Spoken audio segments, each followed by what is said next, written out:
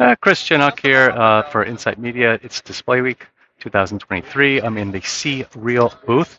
Uh, they are developing light field technology for uh, augmented reality applications. Uh, so one of the big benefits of the technology that they're developing is the ability to uh, interact with objects and see objects at a close distance. Almost all other AR solutions have a kind of a minimum, maybe three feet or so distance, uh, where they can create those images without it falling apart. Uh, you need light field technology to get uh, that closer interaction, which is potentially a very important uh, use case. so they, they were here last year and showed some interesting prototypes. Uh, and they're here uh, again this year with kind of a, a, a very uh, interesting update. So if you take a look, this is their uh, most important innovation right here. Uh, this optical piece right here, um, which you can see right here, is uh, basically uh, it can be a, an ordinary optic with prescription, or it doesn't have to be. Uh, and what they put on this is a, a holographic uh, optical combiner. And if you look carefully, you can kind of see a little bit of delamination on the sides, but otherwise it's very clear. I think it's 93% transparency right now, going to around 97% transparency. Um, so their optical engine, well, this this is this this this is a concept of where they want to take this optical engine. Uh, so this is going to be done hopefully by the end of the year. Uh, and the way this is configured, uh, we have the, the light source uh, out here, which goes through uh, some uh, optical um, let's call it manipulation of the RGB laser light source. Uh, and it, what it does is, is create 24 to 32 views uh, from different angles. Um, and that's, I'll come back to why that's important in a minute.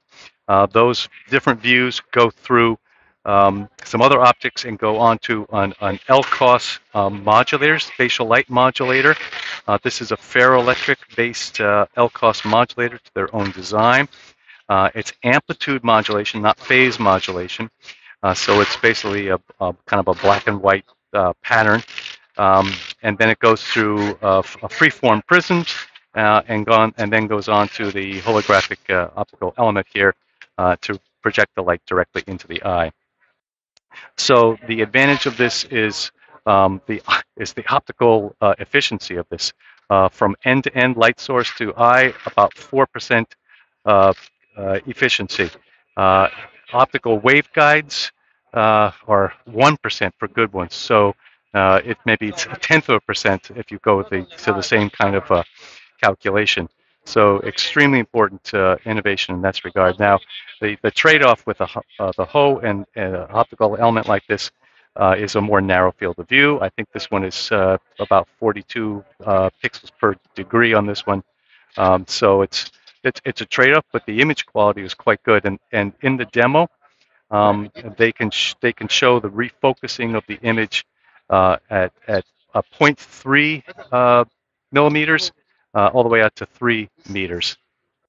So this is the uh, the demo uh, looking through this uh, holographic combiner. This is on the um, the, the, the outside of the combiner. So someone looking at someone wearing this glasses, what, what we're looking at here is is any glow uh, which is a kind of a nasty thing to do. And you can see there's a tiny bit of glow right there, but it's way better than most uh, most AR glasses and certainly most uh, uh, waveguides. Now we're going to switch the view uh, to the to the eyeball side.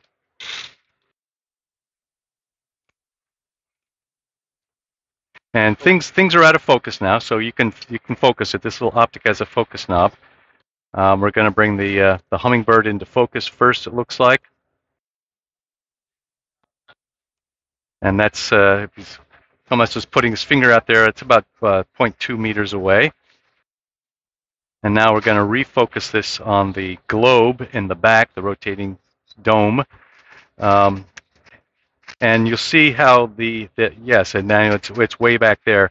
Uh, so this this is the whole point of having a holographic combiner and a holographic display system, light field system, is you've got basically infinite planes here.